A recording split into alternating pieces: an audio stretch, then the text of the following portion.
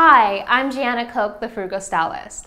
For today's video, I'm showing you A-line skirts that pair well with hosiery selections as well as shoe selections. But first, I feel like I need to explain what an A-line skirt is. An A-line skirt sits high up on your natural waist and it skims straight through the hips and thighs and it usually falls right at the knee or just an inch below the knee. Because it is more of a formal looking skirt, you really have to be careful in the top that you pair with it, as well as the shoes and the to keep it from looking too conservative or too matronly.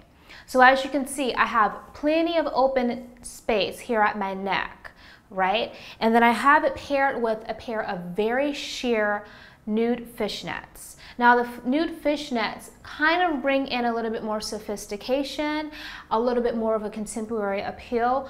And you can also pair it with just a basic pair of nude hose. But for some extra pizzazzle, I decided to pair it with these nude fishnets. Then I have on a patterned shoe, a round toe pump, and a fun print that picks up both of the colors in the skirt as well as the blouse. So my advice to you is to make sure that your A-line skirt hits just above the knee or below the knee and show enough leg room. Versus wearing this with an opaque pair of tights, it wouldn't create too much of a nice line for the leg. So that's my advice for you on how to wear an A-line skirt with hose and with shoes. For more style tips, please visit thefrugalstylist.com. I'm Jana Coke. Thanks for watching.